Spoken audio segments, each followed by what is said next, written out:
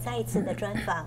附属美医师呢是营养学还有医学的双学博士、双博士。呃，医学方面呢主要是肝胆肠胃。大肠保健我觉得很重要，因为事实上呢，嗯，自从十几年前我们开始一直强调，就是说大肠镜，因为很多人不知道，大家都说，哎，我很健康啊，我都不用做大肠镜啊，因为他们就觉得没有症状就不用去管它。可是很多是是无形的杀手，等到他有症状就太迟了。OK，所以很多时候大肠保健为什么我这么重呃重视呢？就是因为很多病人呢都有便秘啊、胀气啦，然后不然就是拉肚子啦这些问题，事实上跟他的大肠的那个习惯有关系，也是跟他的饮食或者是他的情绪有关系。那基本上能够做的第一件事呢，就是五十岁以后应该做个大肠大肠镜，就是去检验看你有没有息肉。因为他们。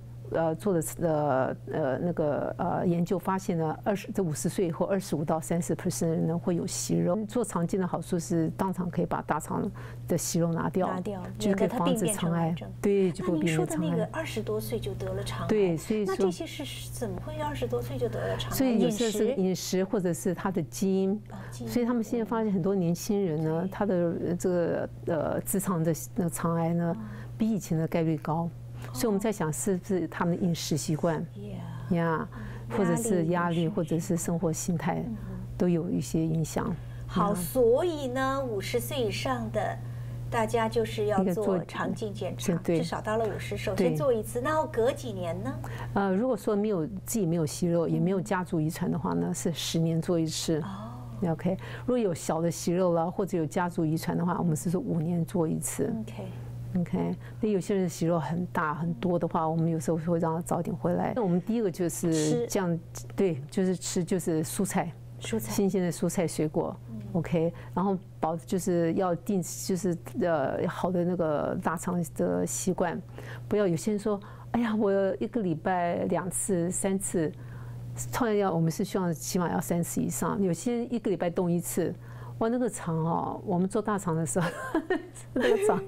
又长又窄，真的就可以看得出，有些人的肠真的就是就是老，就是我我我说你怎么这么多那个皱纹啊？那个肠啊就是不健康，你就可以看得出来，因为我们做了很多大肠镜，真 的真的，就那有些人那个肠很漂亮，就那就是很有肌肉，那个很有弹性。所以有时候我说，等我退休，我要去写一部大肠保健，真的是，因为每个人你可以看得出来他的那个他的大便习惯跟他饮食习惯，有时候那个肠真的是有时候就是非常的健康。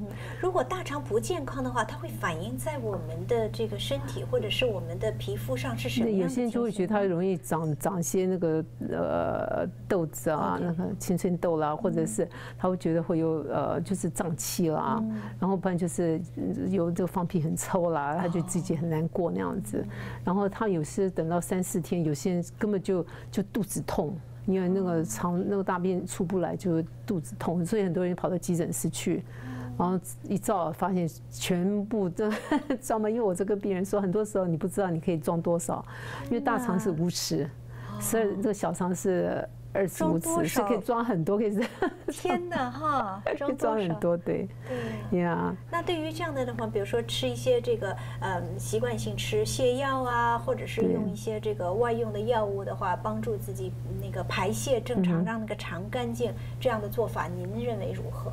通常呢，我们说那个软便，这个就是呃，帮助。那个排便的那些 softener 有有有两种，一种是只是帮就是排让你的大便比较松软，比较容易出来。那另一种是刺激的，通常的刺激的呢，我们希望你不要常常用，因为那些常常用的病人呢，他们的大肠很黑，就我们说是 melanosy，就是非常黑，而且就变很懒。OK，然后就很多皱纹。好的，要保持我们的肠胃的健康，就是其实您讲到的蔬菜水果多吃，非常的重要。还有就是精神上的放松。对，还有排便要正常。排便要正常。对。呀，这这很重要，这个可以防止老化。事实上，这个是呀，你大肠健康，你真的是你的本身的整个的生活，你整个的身体健康都会有有改进。那冰的水呢？事实上，对我们在西医来说，冰是无所谓。可是有些人他们喝冰水，他会得到食道就会痉挛，就就会心痛，感觉心痛那样子。所以也不要太冰，也不要太热那样子。OK。然后呢，那个呃，我们通常是说不要吃喝太多馊的，因为太那个。糖分太高，OK，所以糖分太高，事实上久了以后呢，你就是你会就担心会糖尿病，而且那些你会发现，就现在很多年轻的小孩子，他们已经有脂肪肝，所以很可怕，因为这脂肪肝，他们到四十岁时候是有些人就是开始肝硬化，呀。所以这些都有有它的那个，就是都有一些不好的那个后果，酸、油腻、辣、甜。酸、油腻、辣、甜。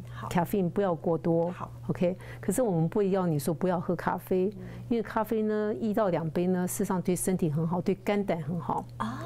你看，所以很多病人说，哦，你叫我不要喝咖啡，我说没有，我不会叫你不喝咖啡，因为咖啡本身是很好，它有 antioxidant。胆。对，有帮助。所以这，所以你是饮食控制的话，对你食道跟胃呢。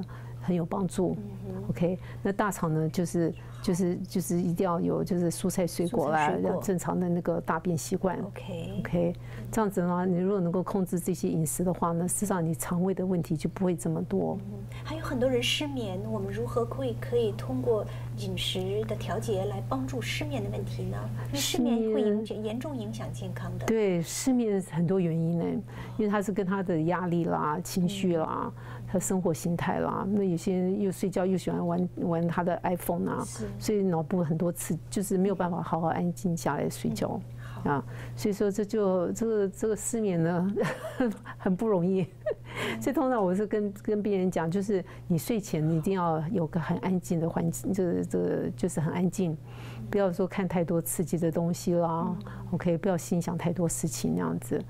然后就是你有些人睡不着，那那我们当时说 melatonin 就黑色素，通常说一般我们就说可以试试看黑色素，因为老年人呢，事实上他们黑色素是有点缺乏，哦，所以这是一些健康的那个营养食品，你可以他们可以先试用，对，可以考虑，可以考虑试试。褪黑激素，对。谢谢傅医师，不客气，谢谢。我们观众朋友天天都健康快乐。